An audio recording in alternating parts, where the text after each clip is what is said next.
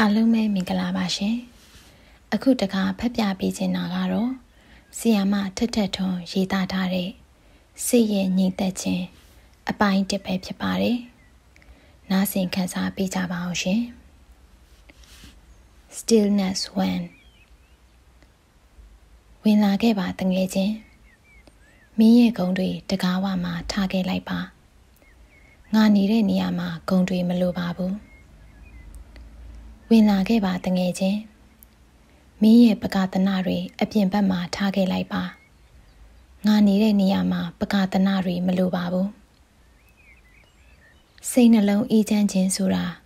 စိတ်ရဲ့တန့်ရှင်းခြင်းကအစပြုပါတယ်ဒါကြောင့်ငါနေတဲ့နေရာမှာဥစ္စာပစ္စည်းတွေအကြောင်းမပြောဘူးယာဒူးအဆင့်တန်းတွေအကြောင်းမပြောဘူးလူတွေရဲ့အတင်အဖြစ်အကြောင်းမပြောဘူး တိတ်ဆိတ်ခြင်းကိုအဖို့လုပ်တဲ့ငါအဖို့ပကြီးကားတစ်ချက်နဲ့တူတဲ့မနက်ခင်းလေးရဲ့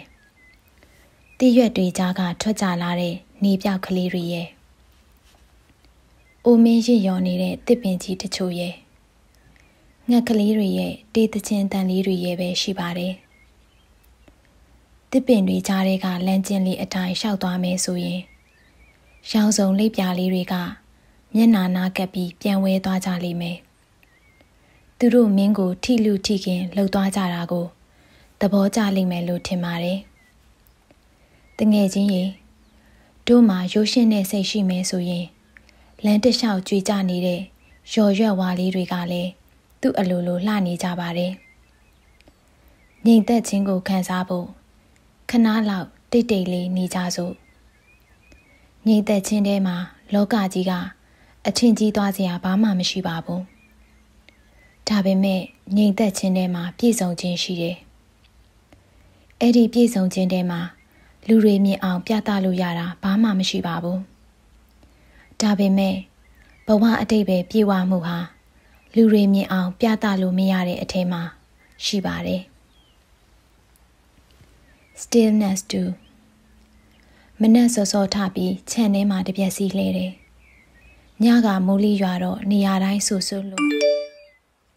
မနေ့ကစိုက်ထားခဲ့တဲ့အပင်လေးတွေလန်းဆန်းနေတာတွေ့တော့ဝမ်းသာရတယ်။နာမည်တော်မခေါ်တတ်တဲ့အပင်လေးတွေကိုအနားရောက်လာတော့မြင်ရတာအားနာမိတယ်။အနားမှာရှိပါလျက်နဲ့တိတ်ဆိတ်နေမိတဲ့အခါငါ့ကိုခွင့်လွတ်ပါကွယ်။ငါကနှလုံးသားနဲ့မြင်အောင်ကြည့်တတ်သူပါဆိုတာမမိလိုက်ပါနဲ့။ Stillness 3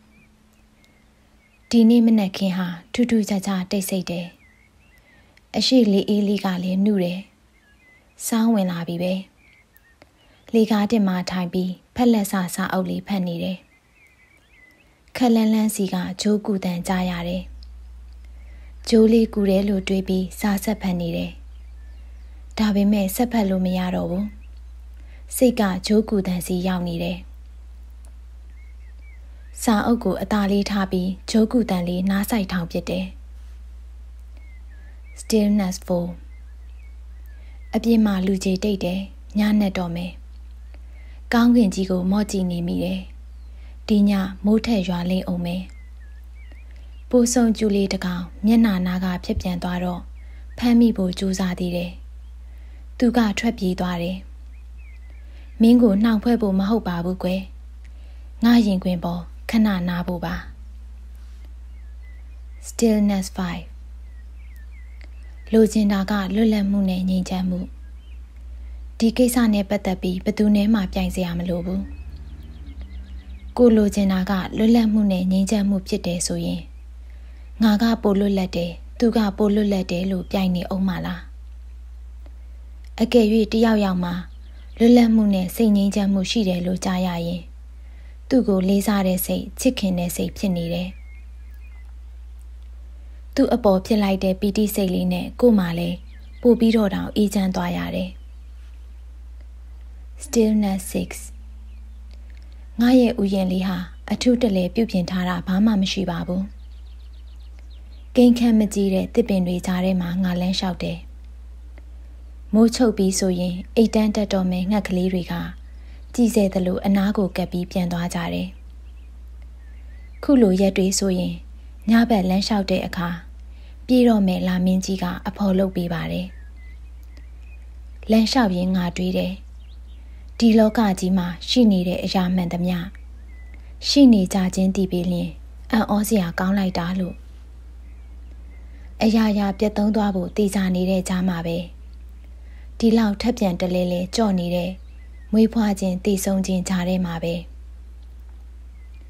ရေပွဲပမာခဏမျှသာရှိတဲ့တခဏအတွင်းမှာပဲတို့အတူရှိနေကြတယ်အံ့ဩဖွယ်တို့အတူရှိနေကြတယ် stillness 7ငါနေတဲ့နေရာလေးကိုရောက်လာခဲ့ရင်ငါမှပြစရာဆိုလို့တန်ဆွမ်းပြီးအရွက်တွေဝေနေတဲ့အပင်တချို့ရဲ့မြေပြင်ပေါ်မှာပွင့်ဖက်တွေဖွေးနေအောင်ကြွေးကြနေတဲ့ စကားဖြူပန်းပင်တွေရဲ့ပန်းရနံ့တွေတင်းပြန့်နေတဲ့လေနုအေးလေးရဲ့တစ်ပင်အိုကြီးတွေပေါ်ထိုင်ပြီးတချင်းဆိုနေတတ်တဲ့ငှက်ကလေးတွေရဲ့ဟိုဟိုတီတီပြန်ဝဲနေကြတဲ့လိပ်ပြရောင်စုံလေးတွေရဲ့ပဲရှိပါတယ်ဘာမှအလှပြထားတာမရှိတဲ့ဧကန်ထဲမှာထိုင်ကြတဲ့အခါငါကောက်ယူတင်စီထားတဲ့လိပ်ပြတောင်ပံလေးတွေပြပါမယ် ငါကိုအထီးကျန်သလားလို့မိသလားငါအဲ့ဒီအကြောင်းမတွေးမိတာကြာလှပြီတကယ်ကိုပဲငါအထီးကျန်သလားလို့မတွေးမိတာကြာလှပြီပဲ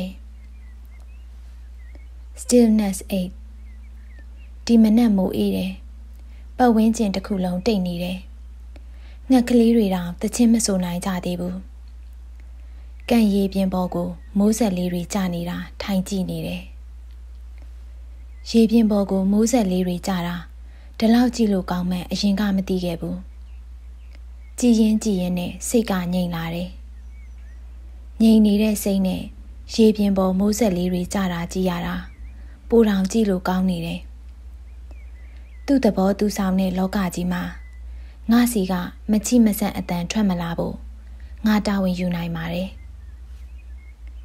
stillness 9 ညကတဲခဲ့တဲ့မူကခုမနက်ထိတဖြောက်ဖြောက်ရွာနေတော့ညကတုတ်ထားတဲ့မျက်ရည်တွေခုမနက်ထိအင်ကြီးလက်မှာဆူဆွနေတော့အခုထိခလေးဆန်နေသေးတဲ့ငါဟာတေချင်းတရားကိုအဝေးကြီးမှလို့တွေးတော့အချစ်တွေကိုလည်းမြဲလိမ့်မယ်လို့ထင်တော့ stillness တန် အာယုံပြိုးစားရှင်ရှင်လန်းလန်းနိုင်လွန်းတဲ့တေးဆူငှက်ကလေးကြီးမာကြောဖို့တန်တိထန်ချထားတဲ့သူသာပျော်နိုင်တော့မပေါ့ကိုအမားကိုတာဝန်ယူသလိုကိုဝင်ကိုဘသူမှမထမ်းပေးရသူသာပျော်နိုင်တော့မပေါ့တနာကျင်နာမှုကို မတောင်းခံခဲ့ရဘူးသလိုအချောင်ရတဲ့ထမင်းတက်နဲ့တောင်မစားခဲ့ဘူးဘူးဆိုတော့မင်းပျော်နိုင်တော့မပေါ့ stillness 11 မနေ့မနေ့တောက်နေကြကော်ဖီခွက်လေးကင်ပြီး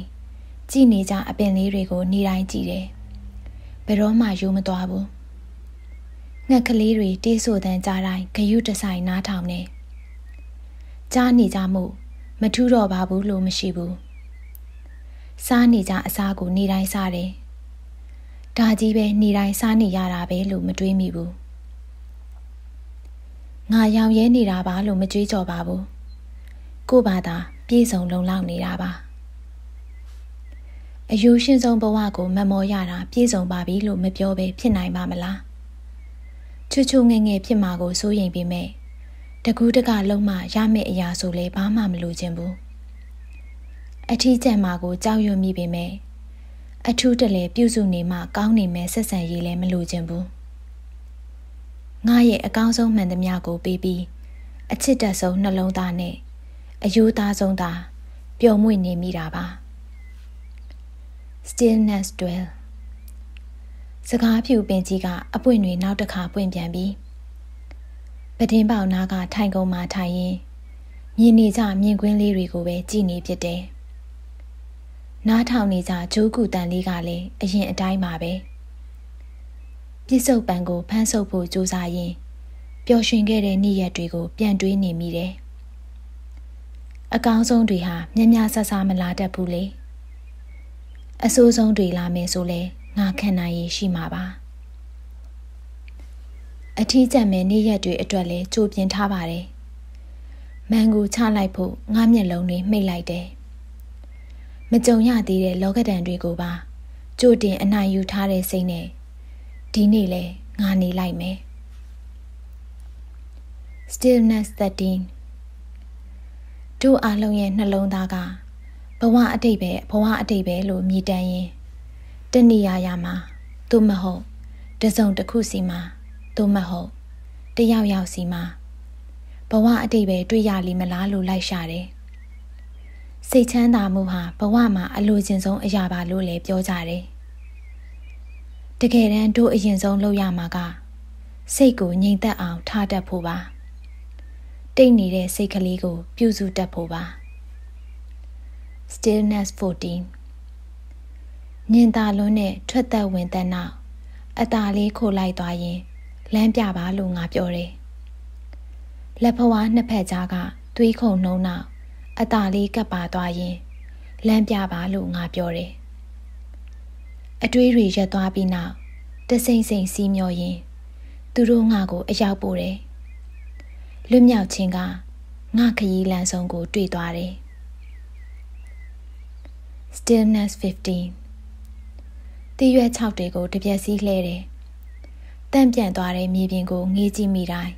ငါစိတ်တွေစူးစီးသွားတတ်တယ်မျက်တွေကိုဆက်နစ်ဖြတ်တယ်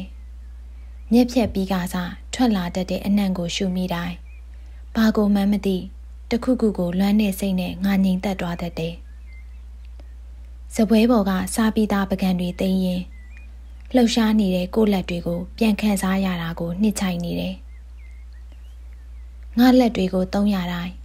စိတ်ချမ်းသာမှုတစ်မျိုးရတယ်။လက်တွေကိုသုံးနေရတိုင်း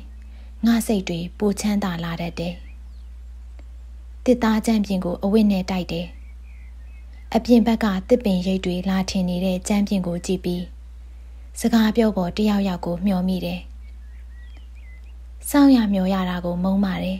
။ဒါပေမဲ့စောင့်ရင်းမျှော်ရင်းနဲ့သာငါပို့လို့ရင့်ကျက်လာခဲ့တယ်။ Stillness 16နေသားတဲ့နေ့လေးမှာကြီးငှက်တွေတေးဆူနေကြတဲ့တောင်ပေါ်လမ်းလေးတဲ့လမ်းလျှောက်ထွက်ရင်တောရိုင်းပန်းလေးတွေမြင်ရလို့ပျော်ရတယ်လို့ပဲဘာမှမရှိတဲ့အခန်းထဲတယောက်တည်းထိုင်နေရင်လည်းကြည်နူးနေတတ်တယ် လူတွေမှာစိတ်ဆင်းရဲမှုအများဆုံးဖြစ်ရတာအတော်မတန်နိုင်တဲ့မျောလင့်ချက်တွေကြောင့်ပါဆန္ဒတွေမျောလင့်ချက်တွေကငါ့ကိုကြောက်ကြရဲဖြစ်အောင်လုပ်နိုင်စွမ်းမရှိတော့တဲ့အခါကြတော့မှဘဝကငါ့ကိုငါလူတာထက်တောင်အများကြီးပိုပေးနေပါတယ်အတွေးတွေကိုငြိမ်ငြိမ်သက်သက်တွေးတော့လက်ဖြားခြေပြားလေးတွေကအစခံစားလို့ကောင်းတယ်အတွေးတွေတိတ်သွားတော့ ငါအရာရာကိုလက်လွတ်လိုက်တယ်ဘဝကငါကိုလိုတာထက်အများကြီးပို့ပေးပါတယ် Stillness 17ငါကိုအစစ်မှန်ဆုံးစကားကိုသာပြောပါအပြည့်အလှန်စကားပြောရတာနဲ့နားလေခြင်းတဲ့စိတ်နဲ့နားထောင်ပေးရတာဟာငါအတွက်တော့မြင့်မြတ်တဲ့အမှုကိစ္စတစ်ခုကိုပြုနေရတယ်လို့ပါပဲ။ စိတ်ရဲ့ငြိမ်းချမ်းမှုကိုခံစားရပါတယ်။ငါနဲ့စကားပြောပါ။ဖြစ်ဖြစ်ပြောပါ။ငြိမ်းချမ်းတဲ့အကြောင်းလေးတွေပြောပါ။ဝမ်းနည်းတဲ့အကြောင်းလေးတွေပြောပါ။ပျော်စရာလေးတွေရှိရင်လည်းပြောပါ။စိုးရင်ပူပန်တာရှိရင်လည်းငါ့ကိုတီးခွင့်ပြုပါ။ဒါပေမဲ့စစ်မှန်တဲ့စကားတွေကိုသာပြောပါ။စကားလေးတွေပြောရင်စိတ်စိတ်ငြိမ်ငြိမ်နားထောင်ပေးရင် ဘဝအတိတ်ပဲပြေဝမှုကိုငါခံစားတတ်လို့ပါ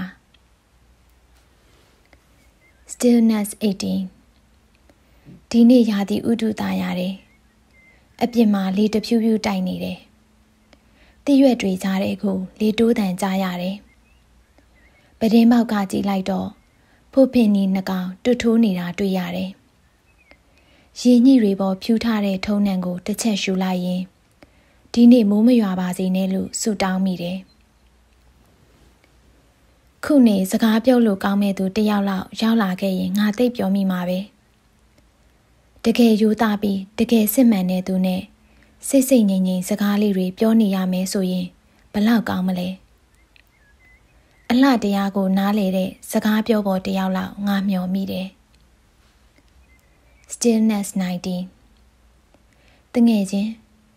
ငါလည်းတခြားသူတွေလိုစိတ်ပင်ပန်းတတ်သူပါငါရဲ့စိတ်ကိုငြိမ်သက်အောင်စောင့်ရှောက်ပြီးငါကိုပြောပြလာတဲ့စကားတခွန်းချင်းတိုင်းကို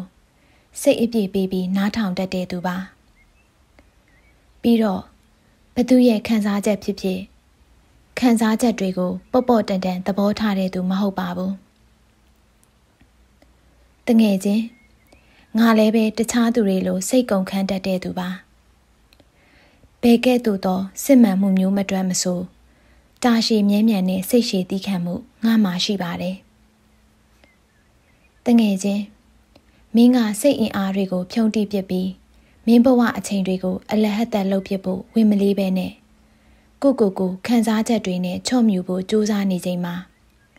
ငါကမင်းကိုတန်မိုးထားနေတယ်ဆိုတာမမေ့ပါနဲ့တငယ်ချင်းဘဝဆိုတာခဏလေးပါ ခံစားချက်တွေနဲ့တည်တည်အထိချော့မြူရင်အချိန်တွေကိုအကုန်ခံလိုက်ဖို့ကို့မှာနောက်ထပ်ဘဝတစ်ခုအပိုမရှိပါဘူး Stillness 20ကဘာအနှံ့ရောက်လေရာနေရာက ပို့ပြီးတဲ့ဓာတ်ပုံလေးတွေအတွက်ကျေးဇူးပါတငယ်ချင်းရေငငယ်တုန်းကတော့ငါလဲကဘာကြီးရဲ့အထင်ကရနေရာတွေရအောင်သွားမယ်လို့တွေးခဲ့ဘူးတယ် ခုတော့အကောင်းဆုံးအလုပ်လေးတွေလုပ်ဖြစ်ဖို့အတွက်အငြိမ်သက်ဆုံးစိတ်နဲ့ဒီဇိုင်းမမက်လုံနိုင်စွမ်းပဲရှိပါရစီတော့လို့ဆန္ဒပြုတော့တယ်ငြိမ်နေတဲ့သူပဲဖြစ်ပါရစီတော့ကွယ် Stillness 21ငါ့ကိုထားခဲ့လိုက်ပါတော့မင်းနဲ့ငါအဖို့မဖြစ်နိုင်ပါဘူးမင်းကအစ်စ်အဆန်းကြိုက်တယ်ဘဝကိုဆန်းဆန်းပြပြနေခြင်းတယ်လူအထင်ကြီးခံခြင်းတယ် ငါပြောပြီးသားပါဒါပေမဲ့ထပ်ပြောပါအောင်မယ်ငါကအရာအလုံးထက်လွတ်လပ်မှုနဲ့ရိုးရှင်းမှုကိုသာရွေးချယ်မဲ့သူပါငါကိုထားခဲ့လိုက်ပါတော့ Stillness 22တော်တော်များများကိစ္စတွေကိုဘာမှအရေးမကြီးပါဘူးလို့ထားလိုက်နိုင်ပါပြီ။နာကြီးစရာဖြစ်ရက်တွေကိုပြန်တတိရရင်တော့ အဲ့ဒါငါမဟုတ်တဲ့တခြားတစ်ယောက်ကဖြစ်ခဲ့တယ်လို့ပဲ။တဘဝထဲမှာဘဝပေါင်းများစွာဖြစ်ခဲ့ပြီးတယ်လို့အရာရာတိုင်းဟာသူ့အတိုင်းသူသာကြံခဲ့တော့တယ်။ Stillness 23ပြိုဆင်းလာတဲ့မိုးသားတွေတက်တက်ကြတဲ့မိုးရေစက်တွေအဝေးကိုငေးတဲ့အကြည့်တွေငါဖမ်းဆုပ်ခဲ့တဲ့လွတ်လပ်ခြင်းတွေ ပိတ်ထားတဲ့တကားတွေအဆွဲအလန့်ကြီးဖို့ကြောက်တဲ့မာနတရားတွေညင်သာခြင်းလွန်းတဲ့ဝင်သက်ထွက်သက်တွေငါလွင့်ပစ်ခဲ့တဲ့အချစ်တွေမိုးရီတွေမျောသွားတဲ့တိရွက်ချောက်တွေတလက်ဟောစီးသွားတဲ့အချိန်တွေတယူတရထုတ်ပိုးခဲ့တဲ့အိမ်မက်တွေငါချိန်ရွယ်ခဲ့တဲ့အနာဂတ်တွေထိချုံလိုက်တဲ့မိုးချင်းတန်တွေ လျက်ရောင်တွေကပြတ်သားမှုတွေပဒင်းမှန်ထက်ကမတည်ငြိမ်တဲ့အရေးတွေငါမပြင်ကျင်တော့တဲ့ငါအတိတ်တွေဆွေအောင်မဲ့တိမ်လိပ်တွေတကူတဲ့ဘဝရဲ့ငြိမ်သက်ခြင်းတွေဖြက်ကနေမြင်လိုက်ရတဲ့အနတ္တတရားတွေဖြေလျှော့လိုက်ရတဲ့အတ္တတွေငါလေးယူခဲ့တဲ့ပြစ္ဆုတ်ပံတွေ Stillness 24 ခုတော့ဒီငြိမ်သက်မှုထဲမှာငါဘလို့ပျော်မွေ့ရမလဲဆိုတာသိပါပြီတိတ်ခါအပြည့်ပြီးပြည့်စုံတဲ့တက်တောင့်တက်တာဖြစ်မှုအပြည့်နဲ့ပေါ့ဘေးပတ်ဝန်းကျင်ကအရာအလုံးစီကနေလဲလွတ်မြောက်နေတယ်လို့ခံစားရတယ်ငါကိုဘယ်အရာကမှလာထိလို့မရနိုင်တယ်လို့ပဲဒီပျော်ရွှင်မှုကိုငါဘလောက်နှစ်ချိုက်လိုက်တယ်လဲအထင်ကြီးမှုနဲ့စိတ်ဝင်စားမှုတွေကိုသာ အော်ဟစ်တောင်းခံနေကြတဲ့လောကနဲ့ဝေးရာထင်ရောင်ထင်မှားပျော်မြူးမှုတွေတောက်ပြောင်နေတဲ့အတုအယောင်တွေပကတနများတဲ့လူတွေနဲ့မပတ်သက်ရာတိတ်ပြီးရှင်းနေတဲ့အဖြစ်ကိုငါရွေးချယ်ခဲ့တယ်စိတ်ချမ်းသာနေဖို့နောက်ထပ်ဘာမှမလိုတော့ပါဘူး Stillness 25ဒီတစ်ချိန်လဲအရင်လိုပါပဲငါအနိုင်မယူလိုက်ပါဘူး ကိုခန့်ရဲ့ခဲရသမျှအမုန်းနဲ့ပြန်ပြီးလက်စားချေဖို့ငါငြိမ်သက်မှုကို အပြက်စီးမခံလိုက်ဘူးအနိုင်ယူလို့ရတဲ့စကားငါနှုတ်ဖျားမှာအသင့်ရှိပါတယ်ဒါပေမဲ့သူ့ကိုငြိမ်ငြိမ်သက်သက်ပဲရှိစေခဲ့တယ်ကြာလာတာနဲ့အမျှငါပို့လို့တောင်ဥပိ္ပခါပြုတ်တက်လာခဲ့တယ်ငါမှအမုန်းမရှိဘူးလေဒါဟာငါကောင်းကျင်လွန်းလို့ကောင်းနေတာမဟုတ်ပါဘူး သူ့ကိုငြိမ်ငြိမ်သက်သက်ရှိစေခြင်းနဲ့ဂယုဏကငါအပေါ်မှာကိုတက်ရောက်နေလို့ပါအနိုင်ယူရတာထက် ပိုကောင်းတဲ့အရာသာငါခံစားနေရလို့ပါ Stillness 26လူတွေအုံအုံကျွတ်ကျွတ်ဖြစ်နေချိန်မှာငါအေးအေးချမ်းချမ်းရှိနေတာအပြစ်တင်ထိုက်နေသလားငါငြိမ်သက်နေတာကြောခိုင်းနေတာမှမဟုတ်ပဲ ငါမှချစ်ချင်းတရားကလွဲလို့ပေးစရာမရှိဘူးဘဝဟာတူတောင်းပါတယ်ကောင်းတာတွေလုပ်ဖို့တောင်အချိန်ကနေတယ်ဟိုးကောင်းကင်ဘော်ကတိမ်တိုက်ကြီးနှစ်ခုကြားကအလင်းပေါက်လေးကနေကြော်လွန်ပြီးအကန့်အသတ်မဲ့စက်ကြဝဠာကြီးကိုခန်းစားကြည့်ရအောင်ကဘာကြီးရဲ့အပြင်ဘက်ကနေဒိုးဘဝတွေကို ပြန်ကြည့်ကြရအောင် Stillness 27 ချမ်းမြေ့ကြည်နူးပွဲအချိန်တွေဟာတခါတလေတည်င်္ဂလေးပဲဖြစ်တတ်တယ်မထင်တာတွေဖြစ်တတ်တဲ့လောကကြီးမှာဘယ်အရာကိုမှအပိုင်တွက်မထားပါဘူးမမြဲတဲ့သဘောကိုကြိုတင်စဉ်းစားထားပြီးအကောင်အဆုံးအချိန်ရောအဆိုးဆုံးအချိန်မှာပါအငြိမ်သက်ဆုံးနေနိုင်ဖို့သာပုံဖော်ထားတယ်ဘဝဆိုတာဘသူကမှမျက်နှာသားပေးဖို့အစီအစဉ်မရှိဘူးဆိုတာသိထားပါတယ် Stillness 28ပြိုင်ဆိုင်မှုနဲ့အနိုင်လူရတဲ့ပွဲကြီးမှာတခါတလေတော့လေကိုအနိုင်ရမှာပါသူများမရနိုင်တာတွေငါဘလောက်များများရတယ်လေဆိုတာနဲ့အောင်မြင်နေဆိုတာကိုတိုင်းတာမယ်ဆိုရင်တခါတခါငါသိတော်တာပဲလို့တွေးမိမှာပါဘဝဆိုတာကစားပွဲကြီးလို့ဆိုကြရင်ဒီကစားပွဲကြီးတွေကငါ့ကိုထွက်ခွင့်ပြုပါ ငါဘဝကိုငါလူတွေကို ပြစားတယ်လို့မနေခြင်းဘူးငါဘဝကိုတကယ်အစ်စ်အမှန်နေခြင်းနဲ့ Stillness 29ငငယ်တုန်းကတော့မရှိရင်မဖြစ်ဘူးဆိုတာတွေများခဲ့တယ်။မရရင်မဖြစ်ဘူးဆိုတာတွေလည်းများခဲ့ပါတယ်။လူဘဝမှာအထိုက်အလျောက်နေထိုင်ပြီးဖြစ်လို့ထင်ပါရဲ့။ဆွဲလန့်မှုတွေယောနေတဲ့ယောနေလာတာကိုနှစ်ချိုက်တဲ့နှစ်ချိုက်လာတယ်။ ခုတော့လေဘဝစီကရယူကျင်တာထက်ဘဝကတောင်းဆိုတာမှန်သမျှကို အရှင်းအလိုပြည့်ရပါစေမယ်လို့ပြောတတ်ပါပြီအ ਨੇ ဆုံးလိုအပ်ချက်အနေနဲ့နေ့စဉ်တိုင်းကိုငြိမ်ငြိမ်သက်သက်စိတ်ကလေးနဲ့တစ်ခုပြီးတစ်ခုလှုပ်သွားကျင်တာရဲ့စိတ်ပါလက်ပါတခဏပြီးတခဏနေသွားကျင်တာရဲ့ဒီနှစ်ခုရပြီဆိုရင်တော်ပါပြီကြံတာလောကကြီးသဘောပါ